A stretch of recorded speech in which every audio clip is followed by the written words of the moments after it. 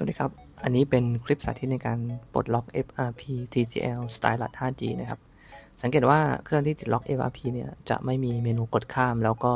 มีลูกกุญแจล็อกด้านบนนะครับ อันดับแรกให้เราทำการต่อ Wi-Fi ให้เรียบร้อยก่อนครับ จากนั้นเสียบมือถือเข้ากับคอมพิวเตอร์ เปิดโปรแกรม Unlock Tool เลือกไปที่ Android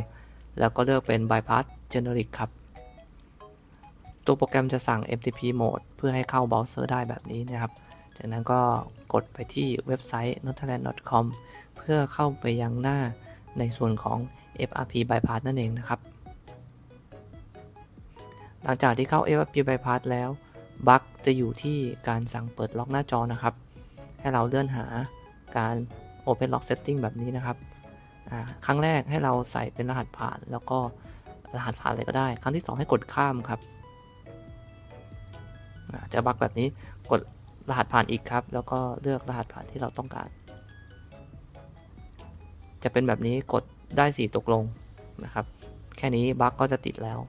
กดแบ็กกลับไปครับ แล้วก็ตั้งค่าไปยังหน้าหลัก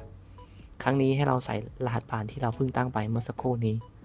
ตัวเครื่องจะยอมรับรหัสผ่านล่าสุดที่เราตั้งนะครับ ก็เป็นอันว่าเสร็จเรียบร้อยครับ